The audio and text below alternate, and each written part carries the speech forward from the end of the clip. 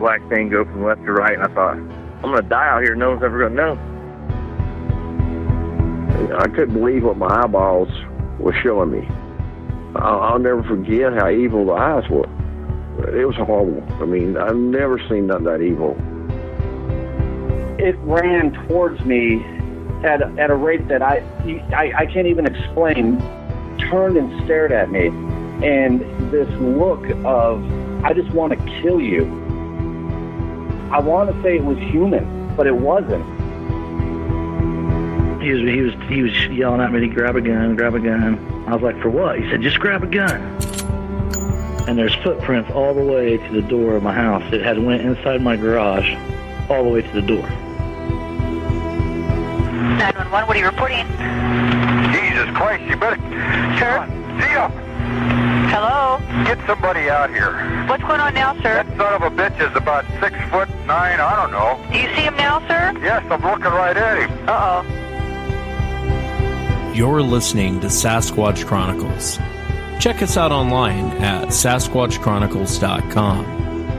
If you've had an encounter, email me. My email address is wes at sasquatchchronicles.com.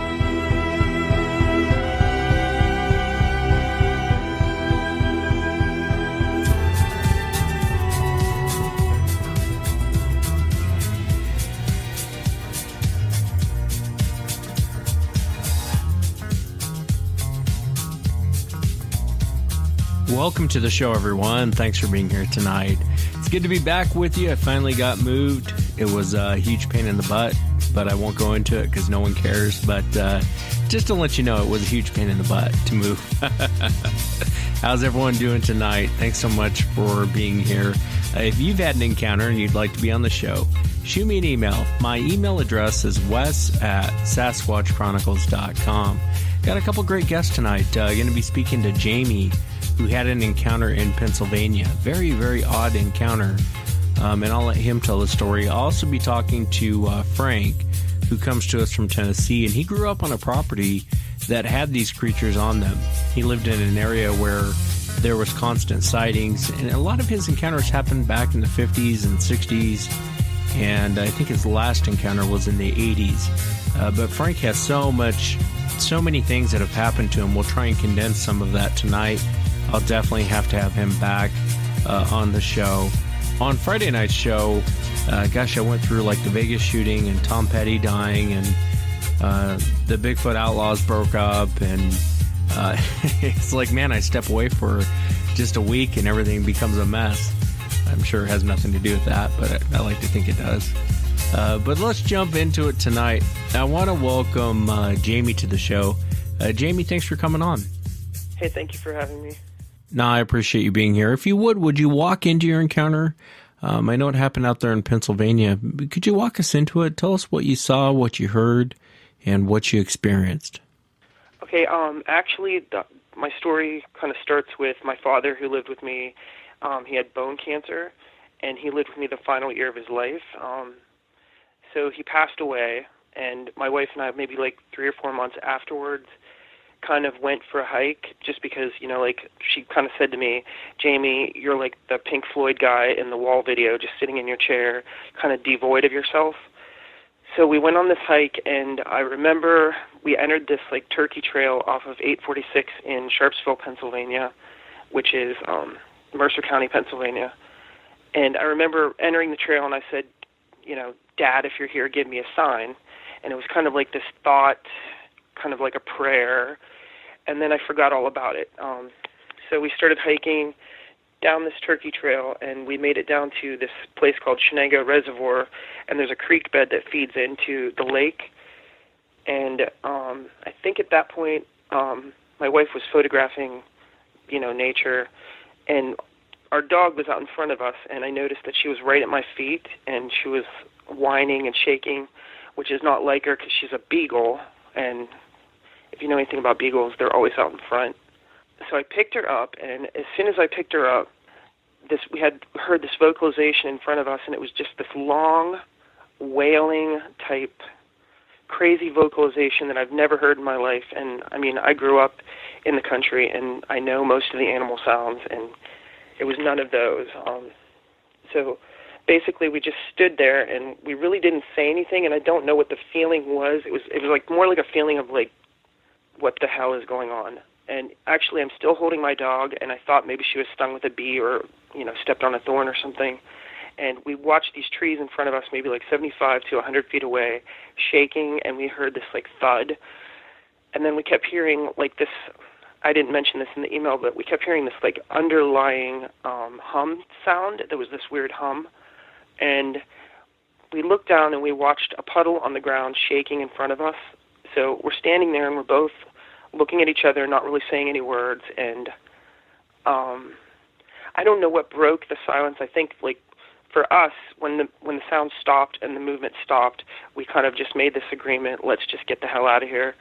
So we as we turned to leave and we're I'm still carrying my dog, you could hear this thing behind us and you could hear it was like this oh ugh, and it was kind of like a wind feeling like some kind of pressure on your back kind of pushing you out and then um briefly I turned and I saw like mass and I saw shape, but I really didn't want to see what was there at that point and it felt like whatever that was following us was kind of on both sides of us because you could hear it sort of off in the distance and then you would feel it really, really close to you.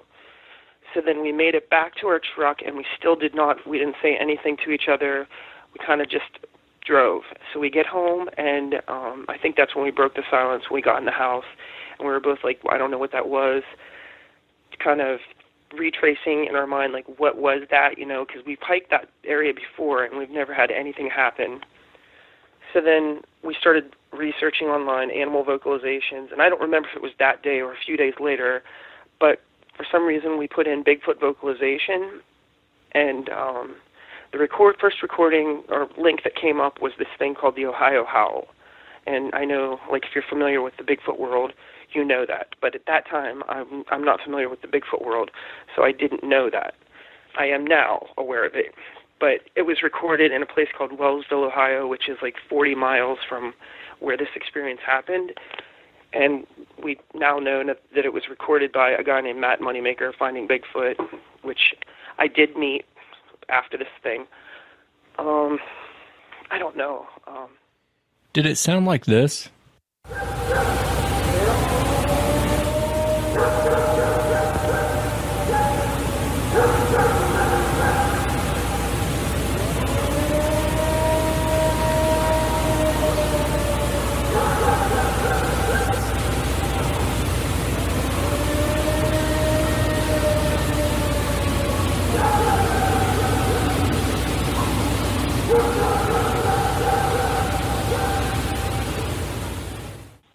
Is that kind of what you heard?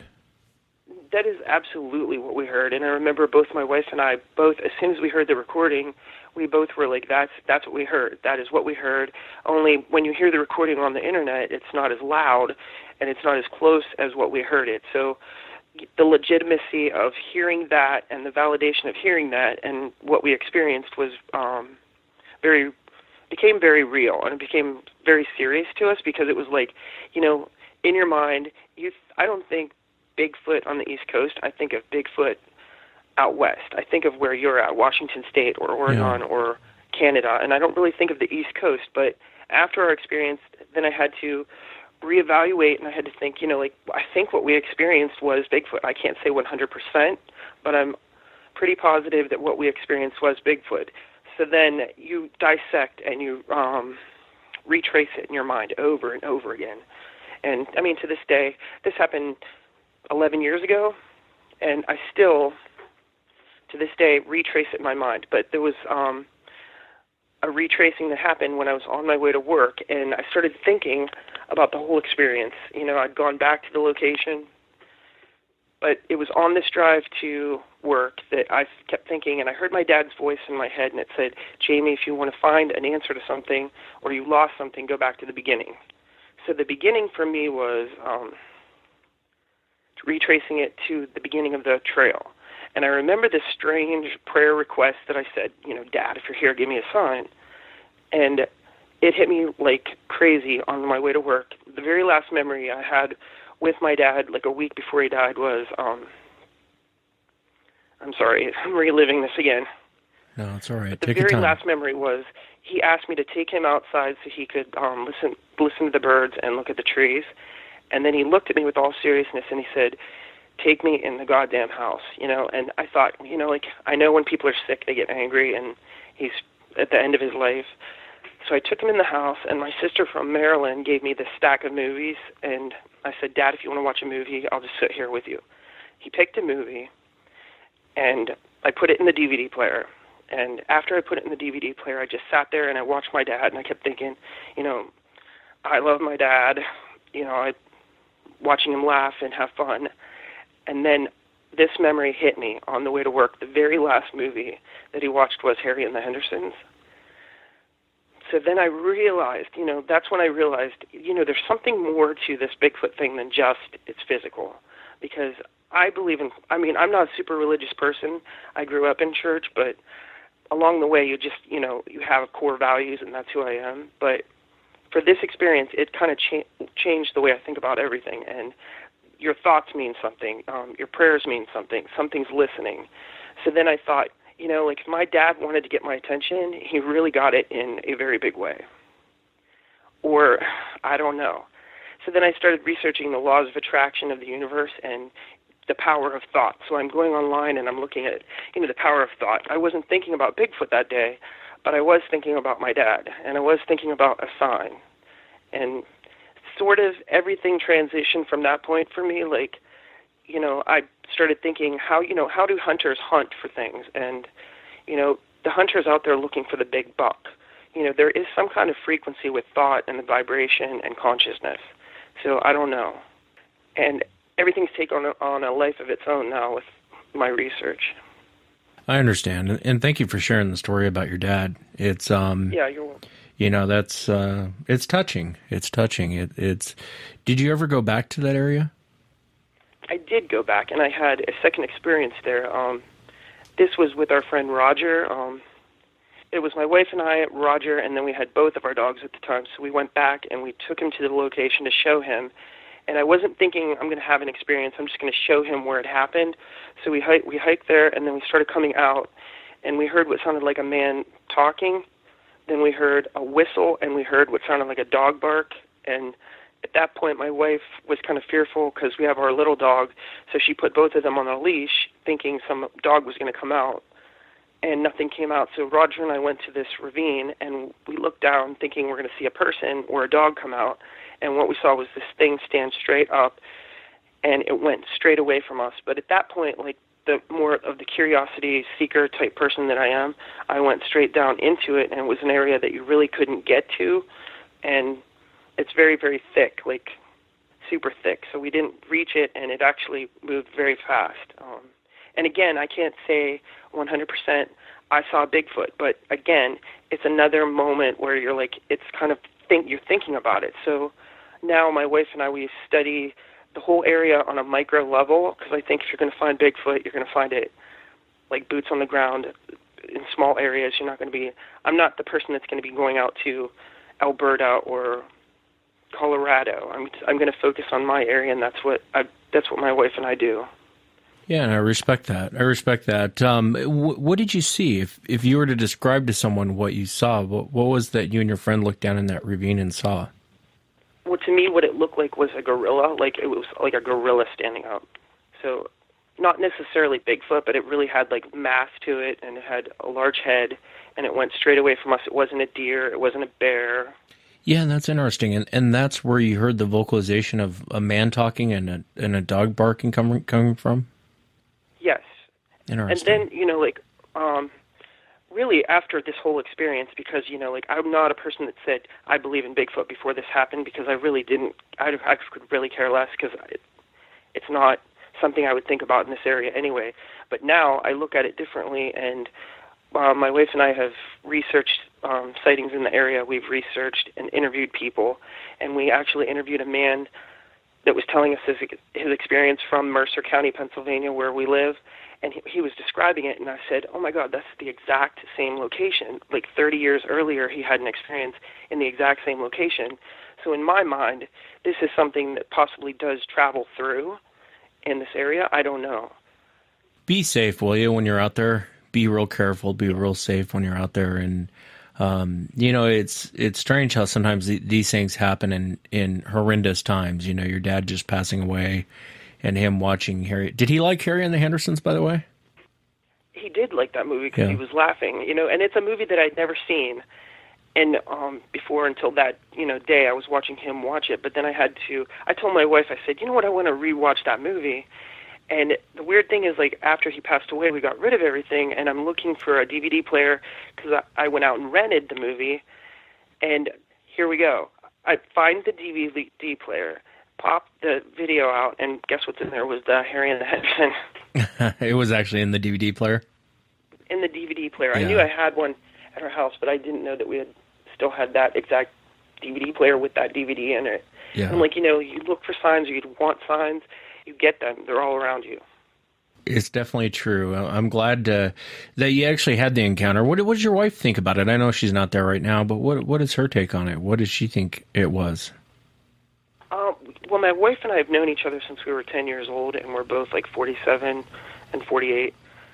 She, like me, pretty much, you know, didn't really have Bigfoot thinking that Bigfoot exists around here, but we both are we're in agreement, and we both experienced it together, which I think is pretty cool. And we both don't want to say Bigfoot, but we say Bigfoot because I mean that's the closest thing to what we think it would would have been.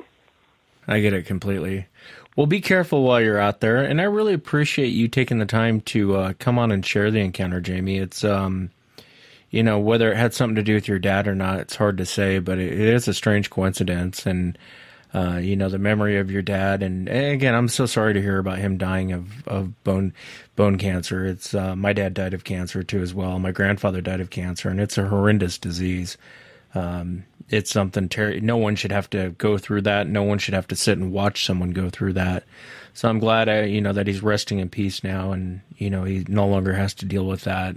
And I'm sure he's in a better place. And I, I feel like I'm putting my foot in my mouth, but I'm, you know, I, I, you know, my heart goes out to you. I'm sorry to hear about your dad, and it's a, it's a very interesting encounter, especially the second time when you went out there and you heard the vocalization. You know, on the show, sometimes witnesses talk about hearing dog barking or hearing their name being called or hearing uh, these things vocalized in strange ways. And it, you know, if it wasn't a dog and a man you heard, if it was this creature, it's a very strange vocalization, don't you think? To kind of draw your attention. Well, I mean, I do think that like if it's making a dog sound, that's that's unusual. If it's whistling, I don't think primates whistle. I'm not sure. Um, as far as talking, I'm sure they have a communication. But what really hit me was the actual Wellsville, Ohio recording that hit identical to what that was, and you know, I don't. I never really spoke to Matt Moneymaker about like where I I know where the recording was from Wellsville, but I don't know the circumstances surrounding it, like if they debunked it or anything. I don't know how the Bigfoot world views it. No, it hasn't been debunked. Um, actually, I've heard that. I've heard recordings just like the Ohio Howl. It's a little bit different, but it's very, very similar. If I played one, you'd go, "Oh, that's the Ohio Howl." But I've had recordings out of um, Texas that sound very similar. Uh, there was one out of uh, Pennsylvania that I had a guy on the show, and he actually had a recording, and he, and I played it on the show. And if you listen to it, you would go, "Oh, that's the Ohio Howl." But this guy recorded it in Pennsylvania, so it is interesting to get different vocalizations, and then to hear the same vocalization being recorded all the way to Pennsylvania. You know, from Ohio to Pennsylvania to Texas, they're getting the same recording. So um, it is it is fascinating. I, I would the only advice I'd give you is just be careful because you you you don't know quite what you're going to get into in a situation like that with these things. But um, you'll have to keep me up to date, and and you and your wife will have to come on if anything new happens out there, will you? I absolutely will, and, and I'm sorry to hear about your father and your grandfather. And thank you for saying that about my dad. Yeah, absolutely, man. And thank you for coming on. All right, no problem. Enjoyed it.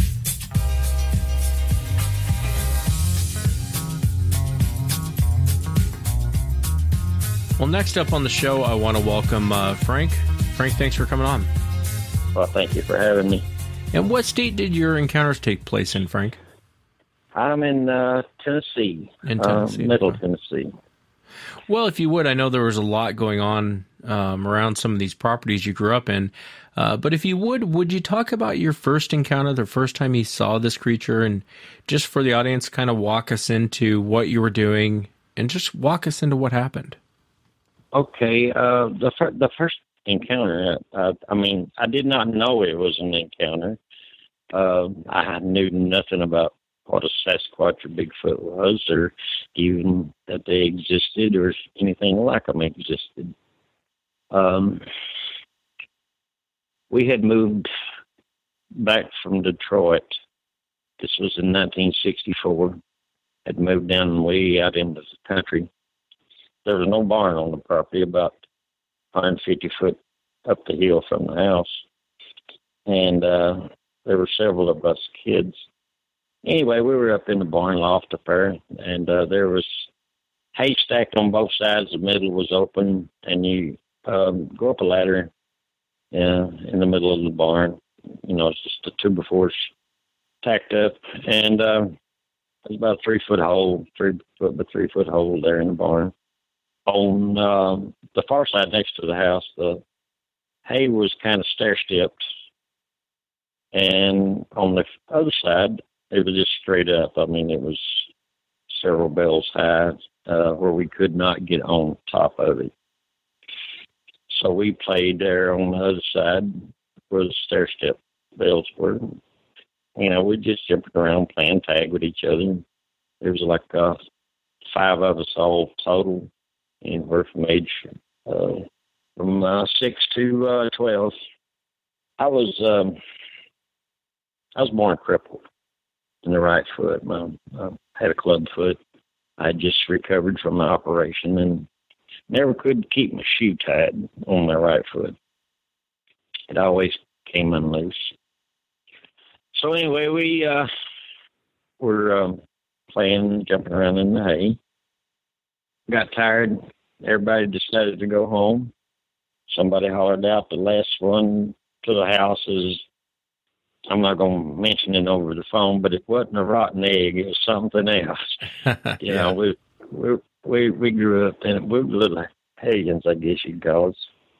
So anyway, uh, everybody went down the hole and uh, started running toward the house and screaming.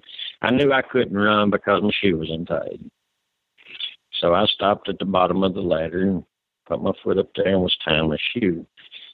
And everybody was gone and they were still running down the hill. And I heard something up in the loft where we just came out of uh jump down. It pretty hard. And run across to a little opening um where they used to bring the hay in, you know, they back back up and, and bring the hay through that door. Yeah. And um I knew everybody had come down and I was the last one left. I thought, who is that? Now we were way, way out in the country. Um, so um, I, I tied my, tied my shoe, uh, stuck my head back up through the hole, and I seen what I thought was somebody. They were all one color, um, kind of a chocolate brown color. Not a any long hair per se. I mean, I, I didn't really get a good look. Of course, you know, scared the crap out of me. There was somebody up there. Where were they at while we were playing in the hay? Don't know. I cannot figure it out where they were. I just saw the back of it. I did not see any front of it. And when I left, got down and left the barn, I had to run right out for, under where it was over the top. I didn't look back, and that was my first encounter. Of course, I, at that time, I thought I was looking at a human, but thinking back on it, that was not no human. It was not a big creature. It, it was smaller than my dad, but it was bigger than we were. Yeah, interesting. What what was it about it that made you think that's not a human? Was it just mainly the hair? Oh, I, I didn't. I didn't know it wasn't a human until later on in life. I mean, it Oh, I just gotcha. it was just one color. I mean, and it was in the middle of the summertime. uh, why would somebody have a uh, one colored jumpsuit on from head to toe? And it was um, it wasn't a uh, black, but it was close to black. It was, it was a brown looking color because in the doorway there there was a lot of light. So I got a good look at the back of it, and um, it just looked like a human figure standing there. Did you ever tell anyone about this? Did you get back to the house and tell your dad or anyone? Well, I told some of the other kids, and they laughed at me. You could, you know, call me chicken crap, you know, you little chicken shit. Yeah. But uh, no, I understand. At that's what, what I got out of them. at what point later in life did you realize, oh, that's what that thing was? Oh, uh, can't pinpoint a time. It was after I found out that these things existed, and it's on up till after the second encounter that I knew that they called them Bigfoots or Sasquatch. How many how many Um, years later was your next encounter? That second encounter where you had the visual. It was about two years later. We had moved from that spot um, about 10 miles across a couple of ridges uh, closer to town uh, by the city reservoir.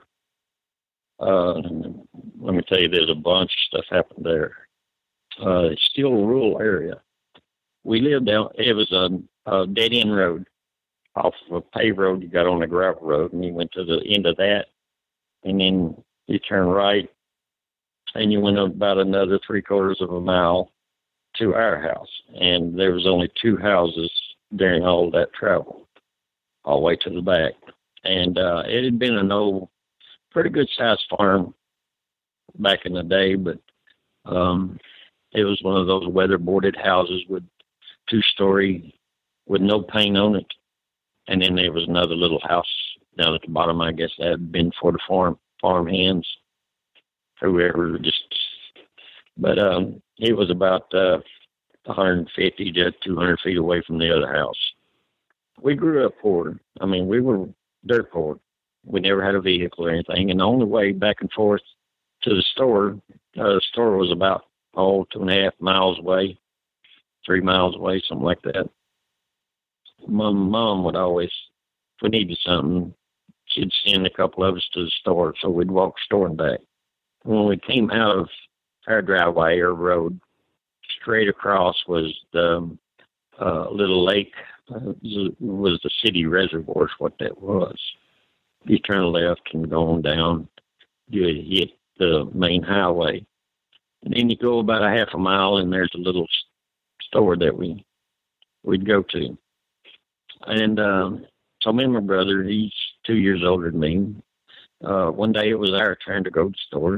It was midday, middle of summer, um, hot.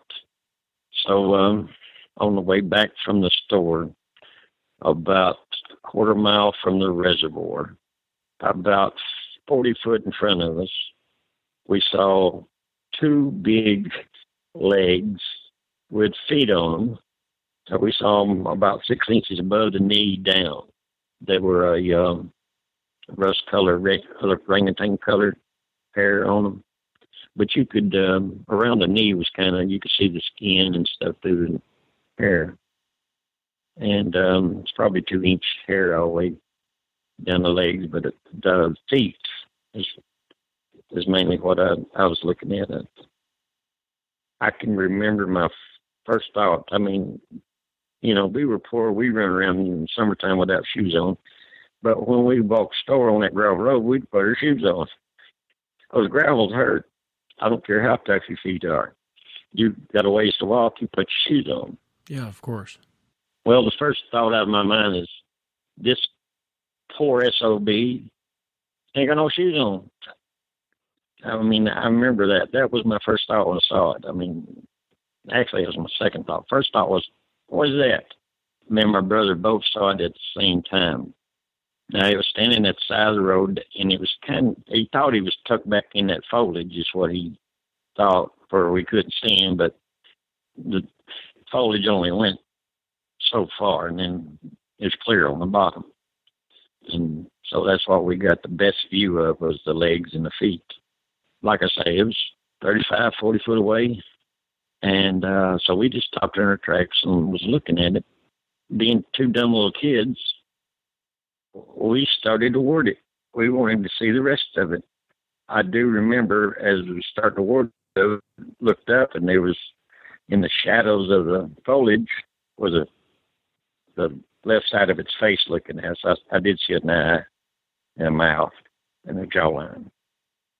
Um, so anyway, we started walking toward it, and we was walking to our right on out into the road, so we could get a better look at it, line up with it. And about that time, it jumped off the side of the road. Uh, it jumped out. Now the side, side of the road was six foot higher than the little field that was beside the road. And uh, of course, the field was growed up with all blackberries and uh, um, bushes, about twelve foot high, and it's real thick. Couldn't couldn't hardly get through it, or we couldn't get through it. We'd been in that field a week before that picking blackberries, and we couldn't get back in there. So anyway, it jumped out about eight foot out. It's like I say, it's six foot down because there was a fence right there, and they had to clear that fence uh, at the bottom of the road. So that was a pretty good leak. And when it hit, we seen the fur bounce on the back of it, and when it hit, it was running.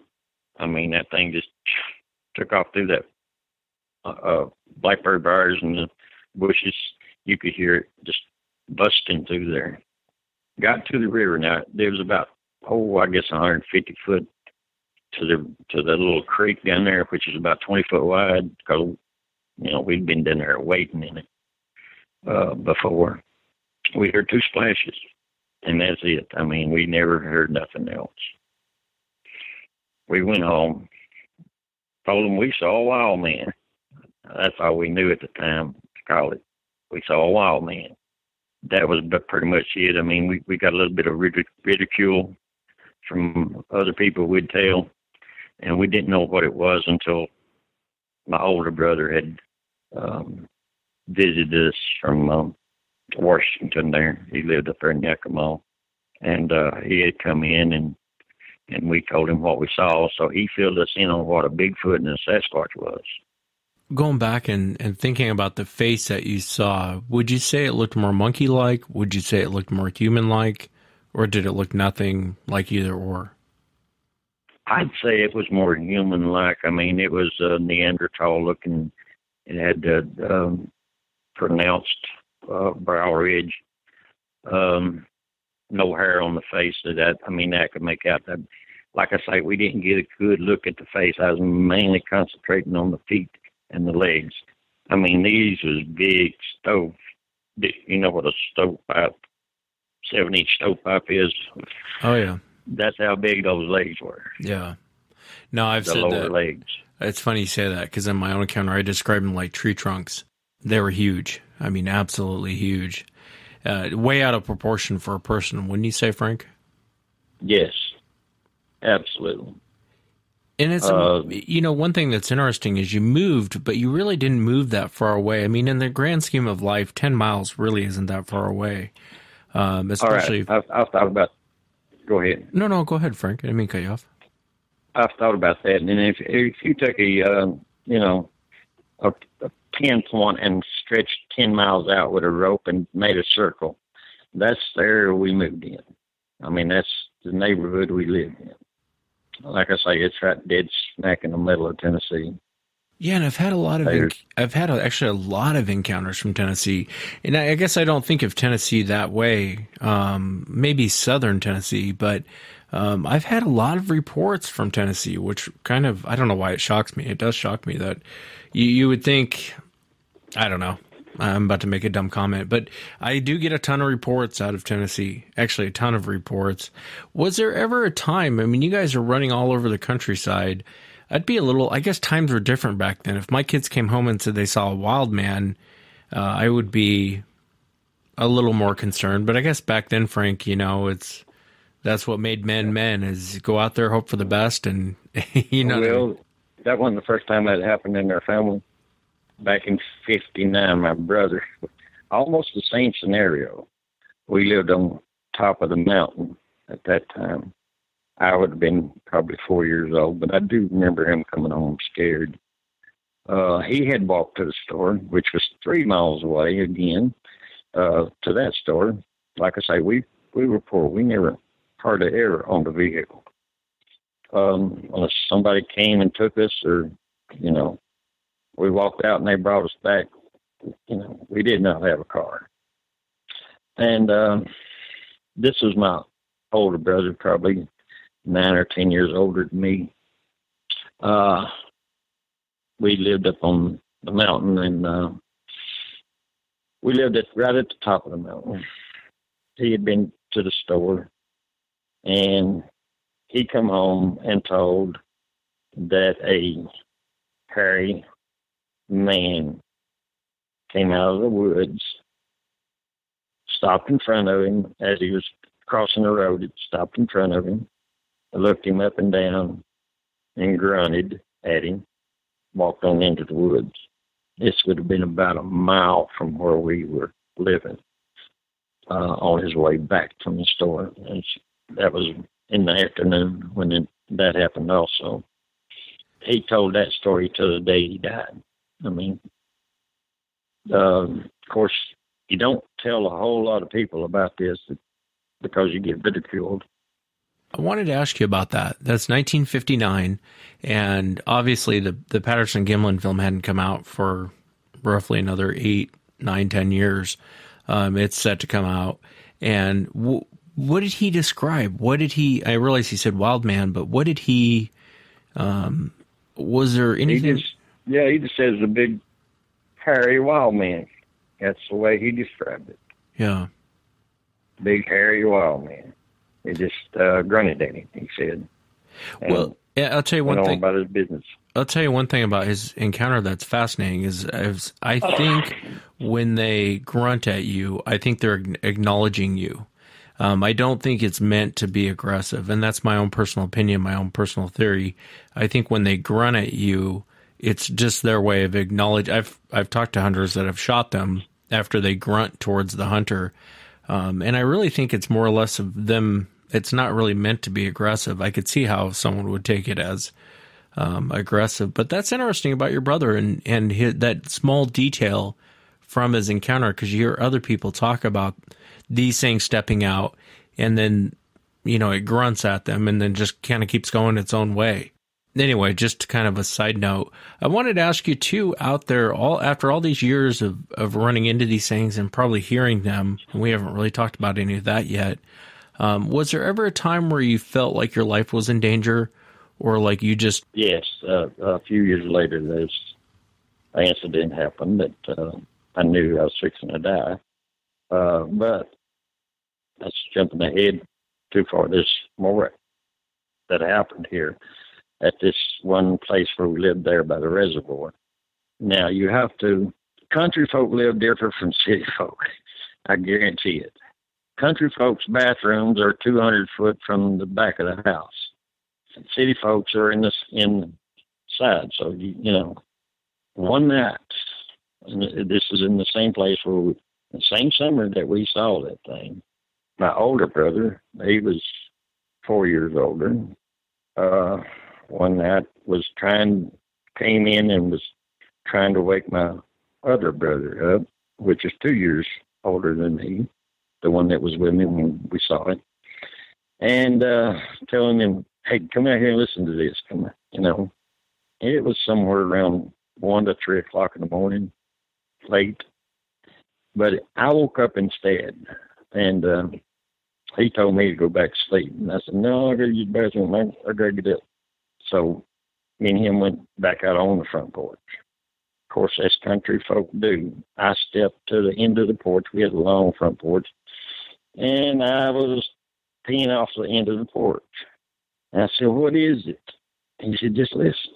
And then I could hear it after I kind of woke on up. There was a behind uh, the barn set over across the driveway from from the house, and um, up behind the barn, there was nothing but wilderness woods, uh, big stone boulder that had been pushed up out of the ground, and uh, real rugged terrain up in there. We heard a baby crying. I mean, if the more I listened, the louder it got. And so we stood there for, I know, 10, 15 minutes listening to that baby cry. My dumb brother, he, he was hollering, man, he said, that's a baby. He said, I'm going to go up there and see. That that's a baby. Well, I know what I had seen earlier. I wasn't about to go up there with him. I said, you can go if you want to. I went back in the house went to bed. Um, he, of course, he never did go up there. About a month later, he was always getting up in the middle of the night too. Um, about a month later, he said he was out on the front porch and he saw a man, tall man, walking up the road. At the end of our driveway was our well. Beyond that was an old tractor road that went on up around the wood line into the fields along the hay fields and the pasture fields and um but there was a gate there. Um you seen those flat gates, four foot high, ten foot long? Yeah. And uh it was taller than I was. And I was nine years old at the time. But uh he said that um he saw a man walk up our driveway or walk up the road and uh, go between the house and the barn and the well out there. And he said he was he was carrying something. It was dark. He really couldn't see nothing but the outline of it.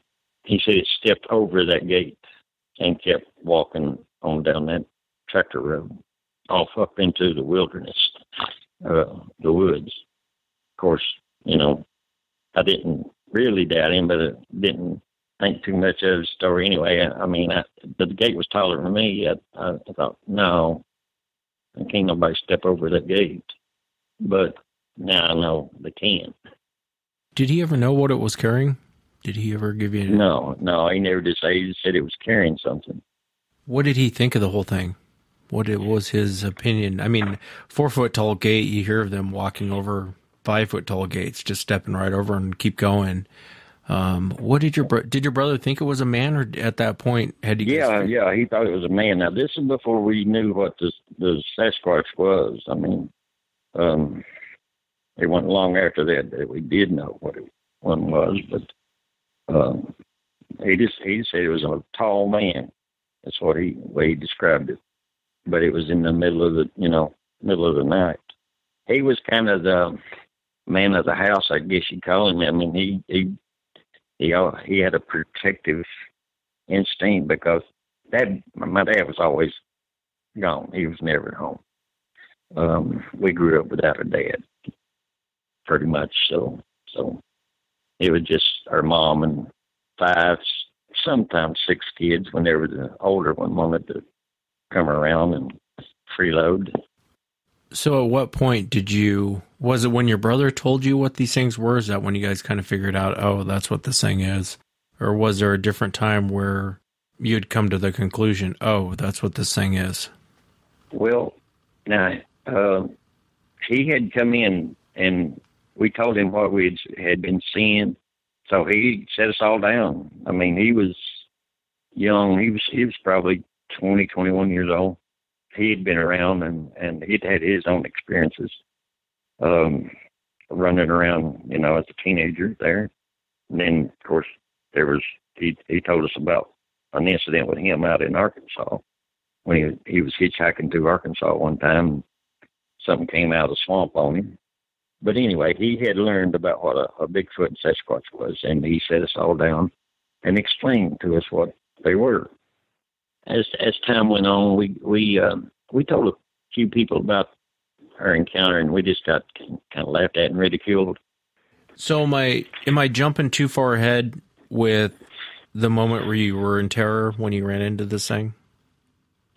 Well, a little, little bit. There's another story. Okay. um, now, where we lived there by the reservoir, something one night, um, my mom smoked, and and they were uh, was a couple lived in that other house, and they smoked too.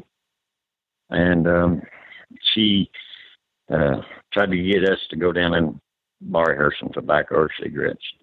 Of course, it was nine thirty at night. Didn't want to go, but my little brother, younger brother, he's two years younger than me. Was was all about two years apart. He took the flashlight. We did have a flashlight at that time, small one, not too bright.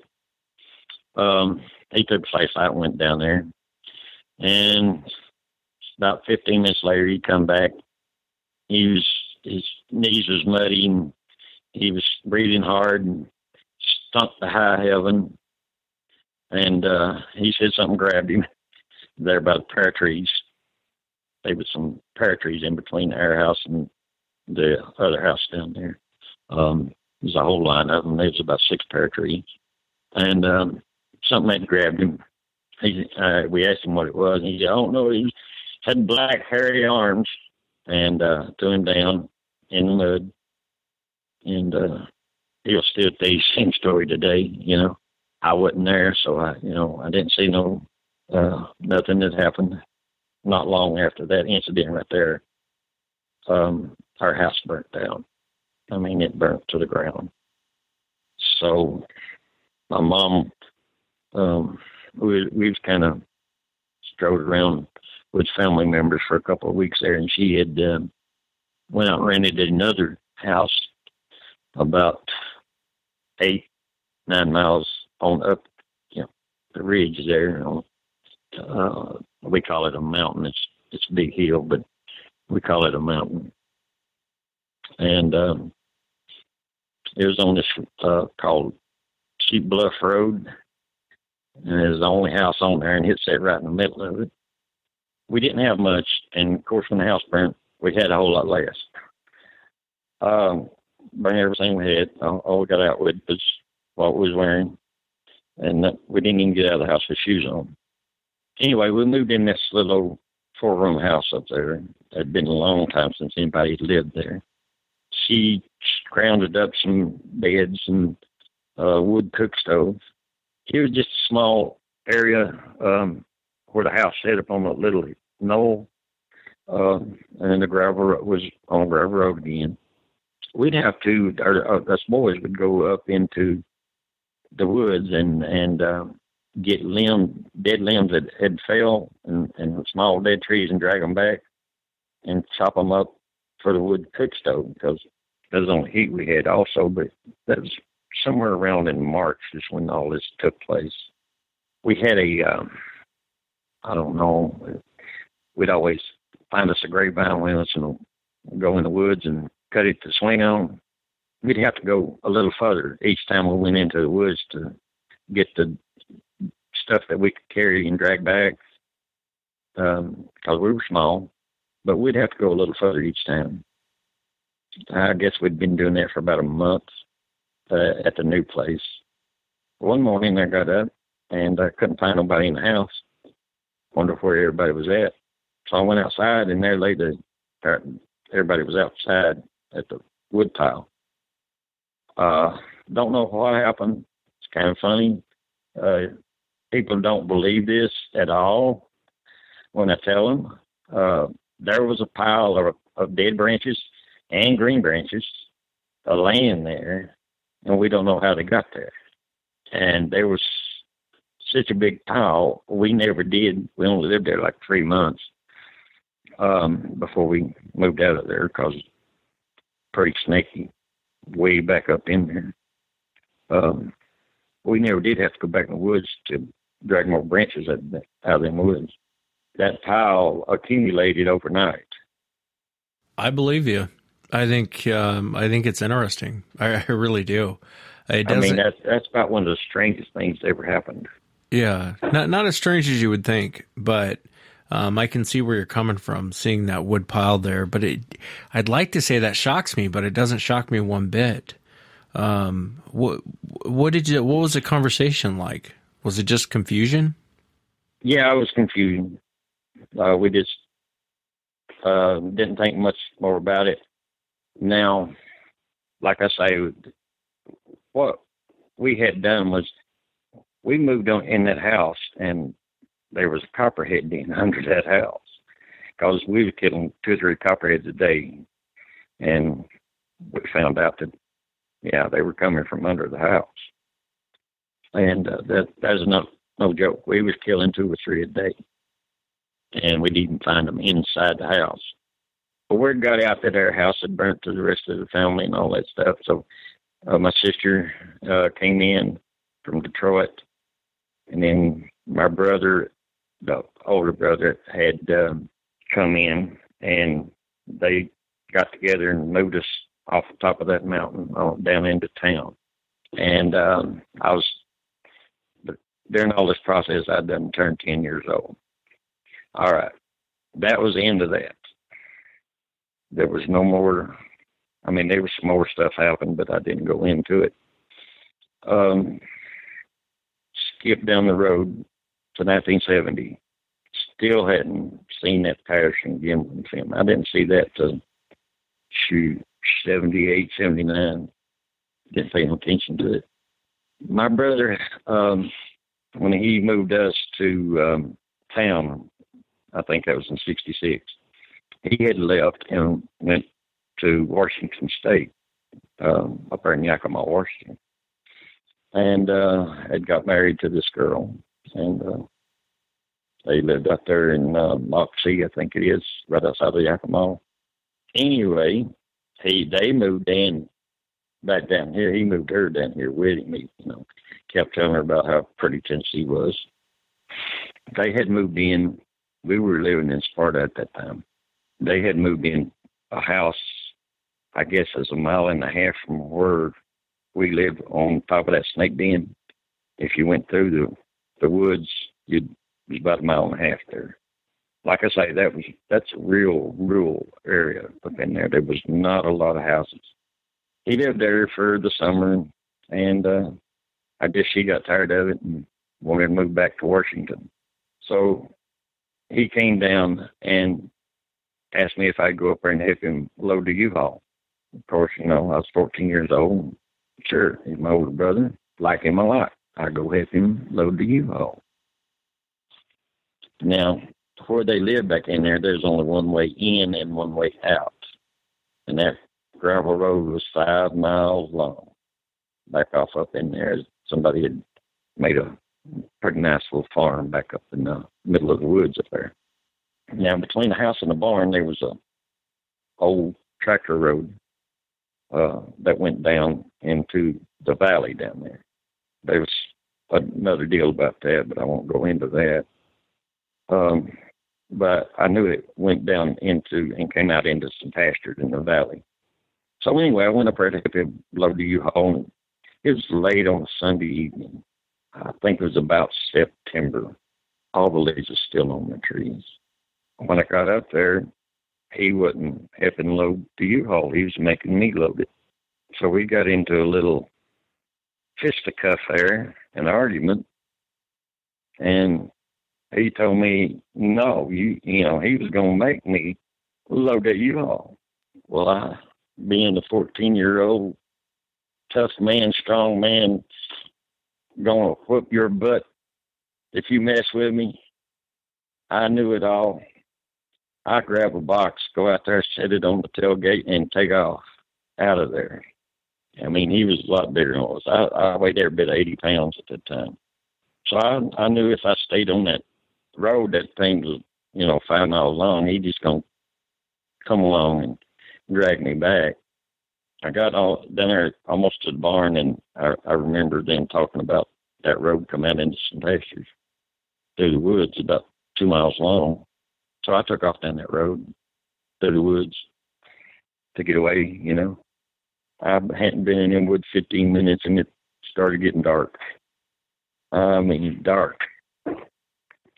That was more than two miles down through there. Um, I grant you that. It got to where you could just barely see. I got, I guess, in the middle, what I call in the middle of the woods, about midway. It got pretty dark. I mean, that's when I heard something started walking beside me. It was 250, 300 foot away from me, but it was kind of, it's a downhill grade, but it was flat across through there. one way, but like a I don't know five degree grade downhill, and I could hear it, and I thought that's that sob coming after me. And about the time I got that I thought out of my head, I thought, no, he's too chicken to come down through there. That's not him. So I thought maybe a deer, but I'm listening to it that far away walking. So I kind of picked my pace up a little bit. Now, granted, this is a real snaky area. Rattlesnake copperheads go lower up in there. And I've got that in mind. All at the same time, I'm listening to whatever's walking over from me here. I get almost out of those woods, and I mean, it gets so black you can't see the end in front of your face. I could manage to see a little bit of gray through the foliage of the trees. I aimed for the gray spot and to stay on that little old tractor road I was on. If I got too far to the left, I'd brush up against the foliage, the trees, you know, sticking out. If I got too far to the right, I'd, I'd brush up that. So if I, either way, I'd, I'd move back over and found my way out of there. Probably took me 10, 12, 15 minutes to, to finish finding my way out of there. Before it wasn't so dark. When it came out, it was a little bit of gray sky left, a very little. Um, to my right, I saw a, a, a roof of a barn. It's probably a mile away through the pasture, and um, saw a little bitty porch light on, little dim light. So that's what I headed for. Still staying on this little tractor road. Even though I was in the pasture, I could still hear it up in the tree line. It still is about 300 foot away from me. I came up to the first gate. And of course, there's one of them flat gates that's four foot high, and it had the wood locust post with the barbed wire on the sides. I crossed the gate, or climb across it. I didn't open and shut it. I just, you know, I was pretty young and agile. I just hopped over it. I got about six, eight steps away from that gate. I heard that barbed wire fence creak all the way down the line. And boy, I knew then I was in trouble because whatever was following me could push a fence down and cross it. That's when fear really did sit in. I was scared. Still hadn't laid eyes on whatever it was. I crossed four or five fences like that coming out of those pastures because they had them sectioned off. And that barbed wire just kept going up into the woods. Every time I would cross it, I mean, it was the same scenario. Get five, six, eight steps away from the gate, that barbed wire fence would creak. When you say that, do you mean like it was climbing over the gate and following you? No, it wasn't climbing over the gate. It was climbing. It was pushing the fence down on up in the woods. And I, are you familiar with how they used to do the old fencing with the locust post and staple? No, I'm not. Uh, holding a piece of barbed wire fence up, and if you push down on it anywhere along that line, it you know it stretches it, and it is oh, pull through you. those staples, I got and you. it is creak. It is creak. Anyway, that's what it was doing. So I knew it was crossing every fence I crossed. So it's getting on toward dark. By the time I got to that barn, it was pitch black, and it was coming on the right side of the barn because the wood line was coming closer to that house and that barn. And I knew as soon as I stepped around that barn, I was it was gonna nab me because it got there before I did. I could hear it walking in the woods. So I got to the. I thought, well, let me get up to that house. I'm gonna knock on that door and get somebody to help me because I don't know what this is. I mean, I did know what it was. I, I felt it was a thing that we had seen uh, five years earlier. wasn't sure. I hadn't laid eyes on it, but I could hear it. Got to the house. No cars in the driveway. It's a nice brick home. Not the first car was in that driveway. So I didn't know. You know, I was, I was kind of dumbfounded. I was scared. I thought, I can't break in there and do. I'll get in trouble. I can't break in the house. I can't go in the barn. They'd come and get me. I, the only thing I had to do was walk, keep walking. So, I mean, I had paused for about 30 seconds there in front of that house trying to figure out what to do. As soon as I got to where the trees started, I mean, they came right down to the road. I walked by and uh, probably got about 10 foot into the tree where the tree started. And um, it started falling right in behind me. Now it was 15 to 20 foot from me. I promise you, if you put an elephant on his back feet, that's what was in them woods. That's how heavy those footsteps were. You could hear every crunch, every twig that broke, and you could almost feel them. Now, I'm 14. I'm walking as fast as I can walk, and I'm telling you, I was moving. It was taking one step to my two or three, and it was keeping up with me in some of the worst terrain you ever laid your eyes on. Big, that had been a volcanic area, and rocks had been pushed up out of the ground, and that little ridge line right through there was one of them. And um, so there was big boulders in there too. I mean, the, not gigantic, you know, two to foot by two foot by six foot by eight foot boulders pushed up everywhere, and um, all different sizes. That thing followed me right now. I better throw this in. I would stop to listen to this thing walking. Soon as I stopped, it would stop. It would maybe take one step and then stop. Now, Wes, it was black as black could be outside. I could not not see my hand in front of my face. There was no moon. I don't remember seeing stars. It may have been overcast, a light overcast, but it was black outside. The only way I could see to stay on that road, the road was gravel, limestone gravel. So you could make out, you know, it's great. I knew at any moment I was fixing to get took and ate. Whatever this was, which by this time I done figured out something that heavy. That's what I saw when I was nine. And that's when the fear really, really set in. That's when it got so close to me. I felt like I wanted to throw my insides up. I wanted to pee on myself I mean, I I wanted to pee so bad it, it hurt, but I was not about to stop and pee. I I got I just I thought, well, if it's gonna get me, it's gonna get me. I, I'm gonna I'm gonna go. I'm not gonna stop and challenge it. So anyway, this thing followed me 15 to 20 foot from me for about a mile and a half, and that's the tree trees stopped and that hillside stopped, and then there was kind of a um, grassy area. Area. I was almost out to the paved road, so it it stopped following me right there. I quit hearing it, or it didn't stop following me. I just quit hearing it. It's what I done. Now, I was beyond scared, son. I, I mean, I was beyond the word scared. I knew that's the way I was fixing that. I thought nobody's ever going to know what happened to me. You know, this thing's going to get me.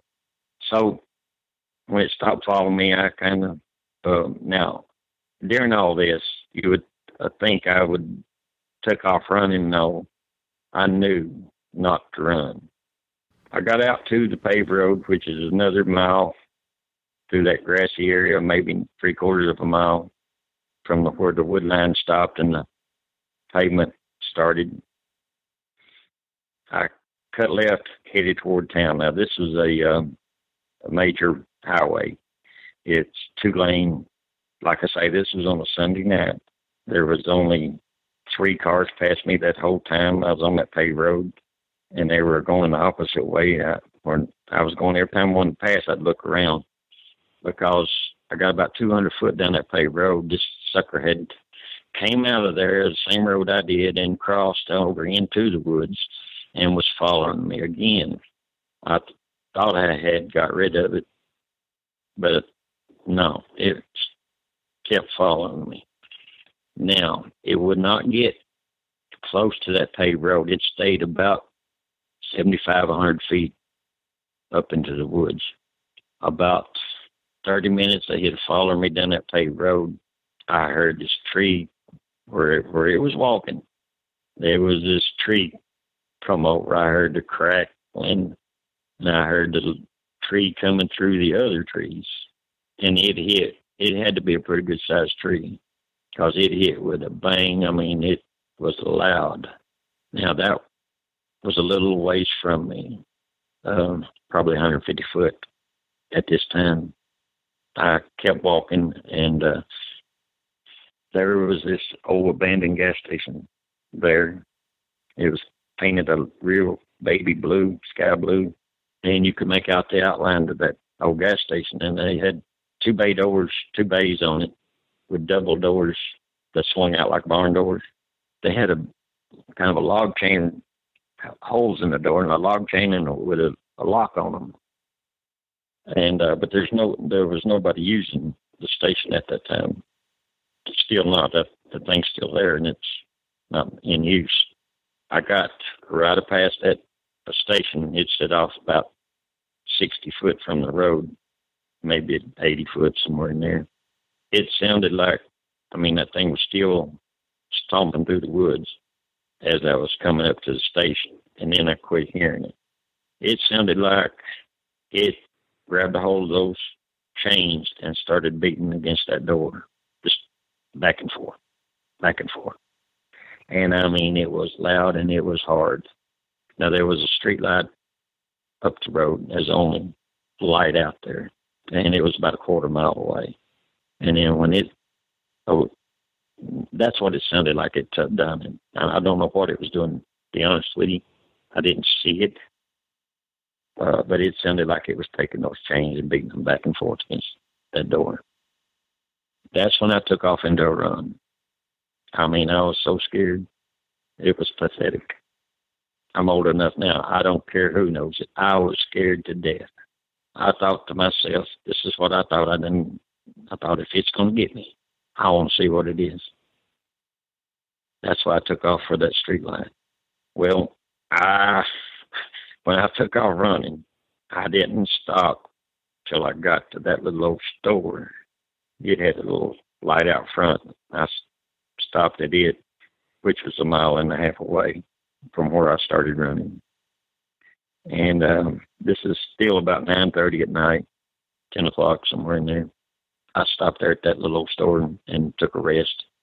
Kept looking for it to come, you know, down because there's a couple other houses with their porch lights on around, and I never never did see anything. Now that little old store is the same store where we had been to when I was nine years old when we walked back over to the other house. That's that was the scenario there. I mean, we all all we done was move, you know, ten miles up the the ridge there. Like I say, it all was in one area.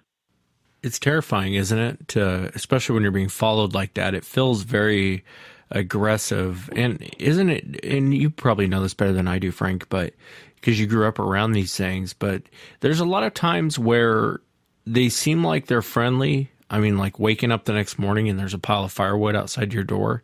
And then there's other times where you run into these things and they don't, it doesn't feel friendly at all.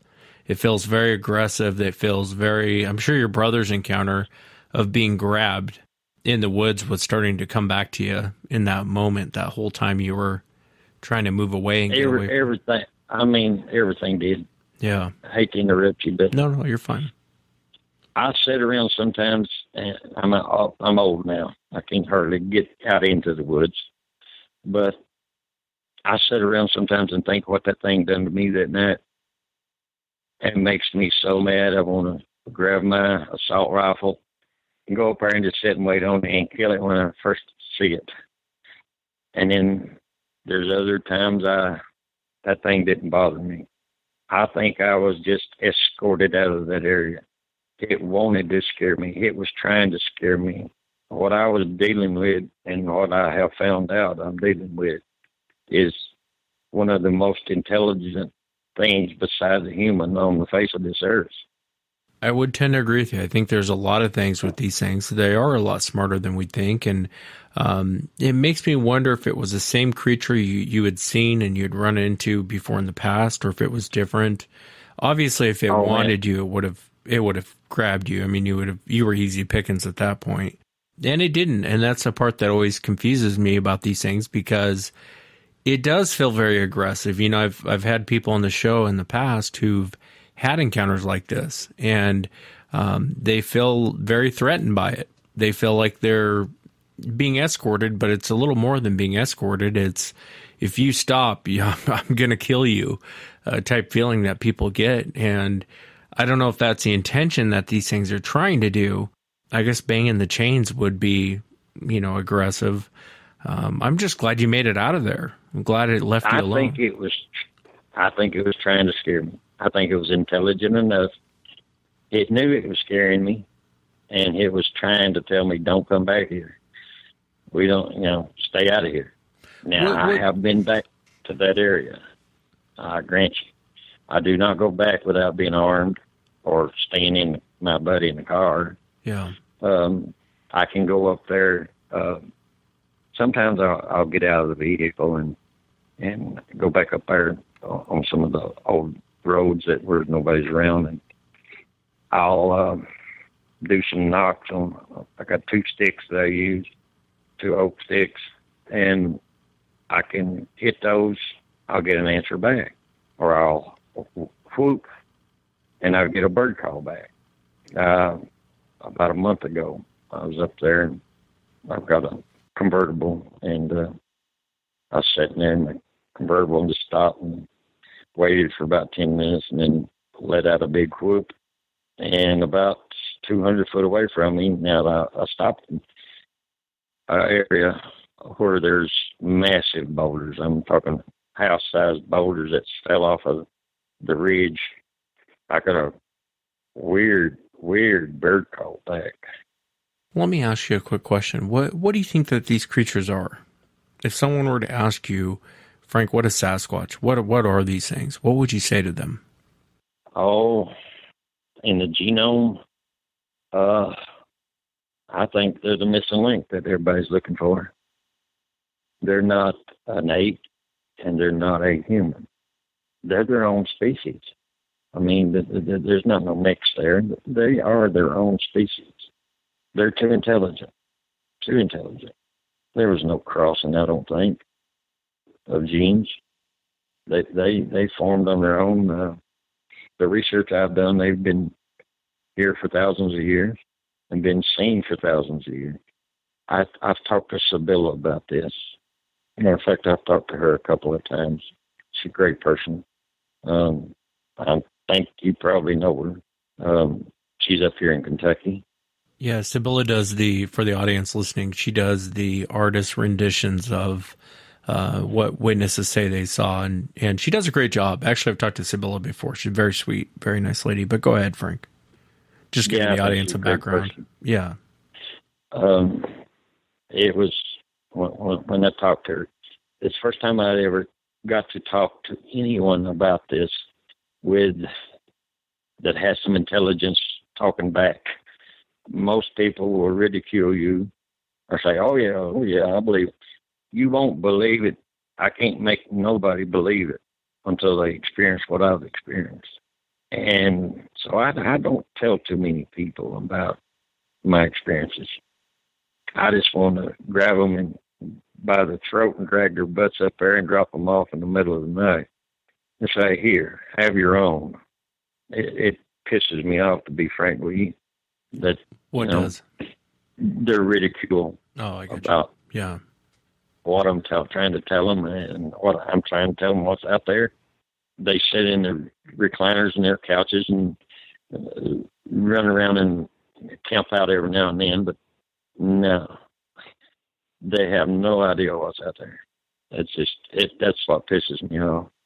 Yeah, well, more and more people are starting to come forward. You know, more and more people are, are coming forward, and there is a ridicule factor. I don't know that that will ever go away until one of these things is dragged out of the woods and uh, for everyone to see. I think there'll always be somewhat of that ridicule. The frustrating part about the the Bigfoot subject is uh, there's a lot of evidence. There's a there's a ton of evidence. I think if we were dealing with, um, let's say, a feline out there, um, a prehistoric feline, um, you know, like a saber toothed tiger, and everyone had the same descriptions, and we had footprints and we had um, audio of them and we had even though some blurry pictures we had blurry pictures i think science would stop and go well wait a minute maybe this thing is still real. Maybe this thing is still up there but out there. But i think the fact of this thing's on two legs it's humanoid um, i think there's an arrogance a lot of times with science or even a lot of people out there who don't get out in the woods and they think there's no way this thing could exist there's no way this is real mm and it is frustrating. I understand completely. I mean, I think anyone who's had an encounter and comes out and talks about it, Frank, I think goes through that. I went through it. I mean, I was drugged through the mud. I was called every name in the book um, by people I've never, never even met. Um, and, uh, but I think everyone kind of goes through that. And I think it's getting more and more acceptable than it was back in the 50s, 60s, 70s, 80s. Um, I think in the last probably 10 years, um, people are starting to go, well, wait a minute, maybe there's something out there. And that's one of the reasons why I created the show is to give people an opportunity to talk about what they experienced. You know, if people think Frank's crazy, okay, well, what about the other, you know, thousands of witnesses I've had thousands, on? Yeah. Are they all nuts? You know, is everyone here, you know, it's sure funny how Frank says different things through his encounter and it's the same thing a guy saying in Washington State. It's the same thing a guy saying in Pennsylvania. It's the same thing a guy saying, you know, guy or gal is saying in California. I just had Jamie on the show, um, you know, the guest prior, and he was talking about the Ohio howl, hearing the Ohio howl. Um, and that's just a vocalization. Let's not even talk about, you know, uh, people seeing it. Let's just focus on this vocalization that was captured in Ohio. Now you might think, well, that's crazy. I don't know what that is. What if I could have another vocalization from Texas that you could listen to that's very similar to what you just heard? Now, what is this down in Texas? Now, how about if I play one from Pennsylvania? Um, mm-hmm. And I mm-hmm. think most of the people in the Bigfoot sound world, the yeah, they sound the same. And most people in the Bigfoot world would listen to that and go, "Oh, that's the Ohio howl." Well, no, this is from Pennsylvania. you know, so I mean, uh, there's yeah. it's almost laughable at this point that uh, the general public and science doesn't take this seriously because there's so much more evidence out there than I, you know, besides a dead body, I don't know what else we can do. You know, what else can we now, do? You know, I just kind of highlighted my experiences. I haven't told you all of them. Of course, it would take a long time to tell you everything. But um, as a kid, used to hear whistles coming from the woods, and we got to where we would mimic those whistles. And we'd sit there two or three hours because we didn't have a TV. It was either listen to the radio or go to bed. So we used to sit on the front porch after dark. We'd sit there and whistle at these things, and uh, you'd hear one over to the left, and then 30 minutes later, there would be another one start up over to the right and you just call them in and, and sit there and and have a whistling contest with them. Um, many times done that. I mean, that was that was our pastime. But yeah, I mean, I can mimic their whistles down almost to the T. Um, it's it's crazy to say that you done that. Of course, we don't. I can't prove what I was whistling to or or, or what was whistling back. But something was there whistling, I know that. Now, my last encounter was in 1988. As, as far as close encounter, I had moved around. I mean, over the years, you know, I'd moved to different spots and uh, on several pieces of property. And uh, I got tired of, I had moved to Nashville and uh, found, you know, that's where all the good work was at. So I lived in Nashville for a long time. And then I moved back up there to East Tennessee in 88. My girlfriend was living with me at the time. We had a young baby, and I had a six year old son from a previous marriage. We had moved out in the country up there because I'm more comfortable in the country than I am in the city. I know what's out there, but I'm still more comfortable. I like the woods. I mean, uh, I I feel at home there. We moved out as a house. We had rented a house at this time out on the um, Finger Ridge outside of this town I'm talking about. Now it was on the opposite side of this town where these encounters happened when I was small to where this one happened in 88. Um, at probably 30 miles distance. Anyway, she, we lived there for a couple of months. It was in the middle of February. All the leaves off the trees. We had these two little dogs, weighed about 15, 20 pounds, two little brown dogs, and uh, good natured dogs. We had a uh, back deck. We had kind of like a four foot run all the way around the house that connected the deck to the doors. We didn't have a door back there at the deck. And uh went out about nine thirty. Uh actually I ordered to start ahead of this. Three days prior to this, something killed one of my little dogs. so I went out and they hadn't made it home by about ten o'clock I guess, eleven o'clock. So I went out, took the shotgun out, was calling for them, they didn't answer. So I went back in the house. I probably stayed out there about 15 minutes calling for him. Off that finger ridge was just big hollow valley, a gorge, you know, spooky. It was spooky down in there. I'm telling you, it was. Anyway, uh, about 10 minutes after going back to the house, heard something at the front door, opened the front door, and there laid one of my dogs. And uh, the son to the mother that was still missing. And uh, somebody, I mean, it looked like somebody took a razor blade and sliced this dog up. He was still alive, but I mean, he made it back to that front door, and he made sure he banged on it because that's the only way we knew he was out there. I didn't give up for the night. I had to go to work next day. So anyway, we brought him in and uh, gave him a bath, washed the blood and stuff off of him, and I sewed up stitched him up the best I could. Went out the next morning, early the next morning, found the other dog down in that gorge, and uh, she was dead. And like I say, she only weighed about 15 pounds, 18, something like that. She was small, less than a foot high. The only marks I found on that dog was two puncture wounds in her stomach, about three inches apart, and about as big as a pencil each each puncture wound, and that's the only marks that was on that dog. The other one had been cut up pretty bad. I mean, it, it, if you took a razor blade and sliced him, that's what it looked like. About three days later, or three nights later, my girlfriend had about nine thirty took the garbage out, and uh, she had to walk, go out the door and walk down that little four foot rail to the back of the deck, and off the back of the deck, I had a, a thing where I, a couple of garbage cans sat on it. She come running back in the house, scared to death. She said, "Get your gun. There's something out there." I said, "What is it?" You know, jumped up. What is it? She said, "That thing is about ten foot tall, and it is ugly." Because we only had a porch light, and and it it was about ten foot away from it, and the deck was about four foot high, and she was looking at eye to eye, and um, so I grabbed my gun and went out there, and of course, I didn't see nothing, but I could hear it. It had then dropped down in that gorge where there was no light. Um, it's probably about 60 foot away from me at this time.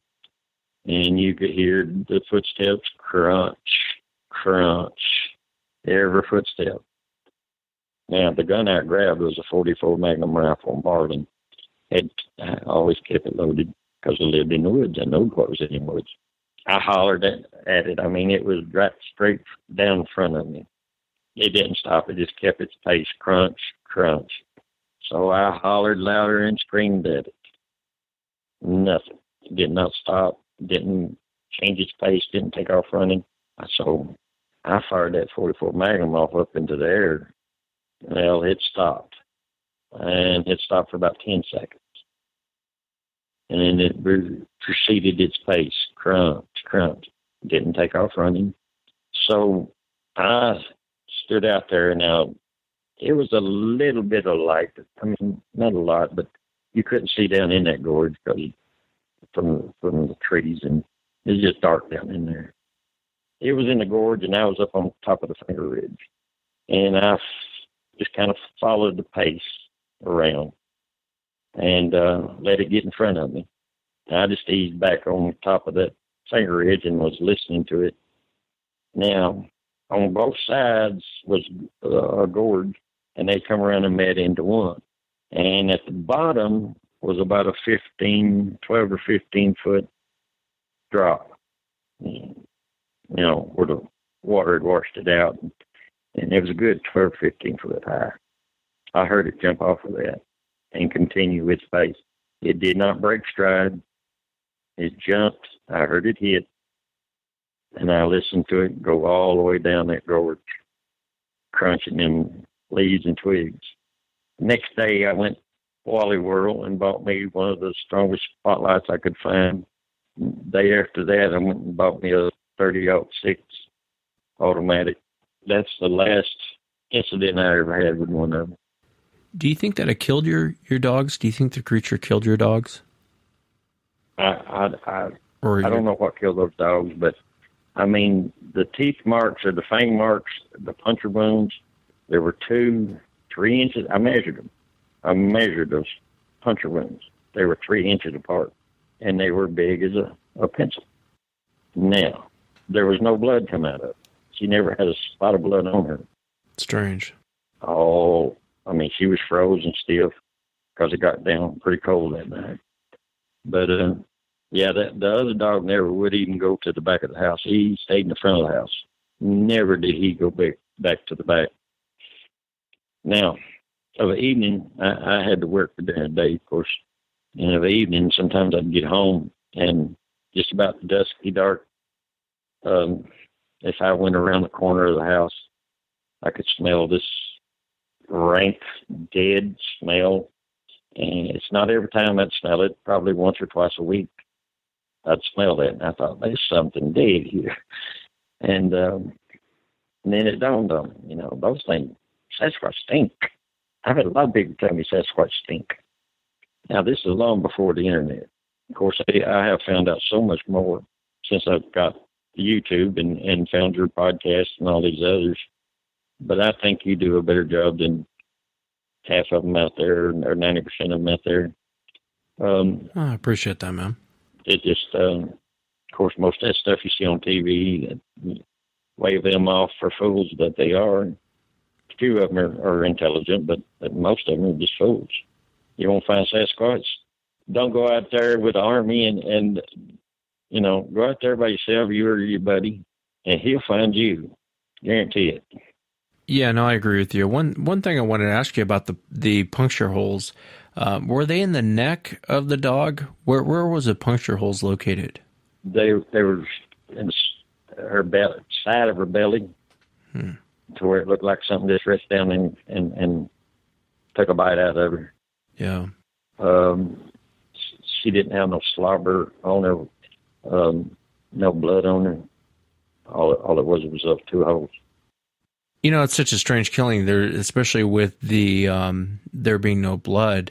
It makes you wonder if, if these things got a hold of it and why they would kill your dogs. You know, a lot of times dogs will run. Usually, it's the big dogs that get it, not the littler dogs. You know what I mean?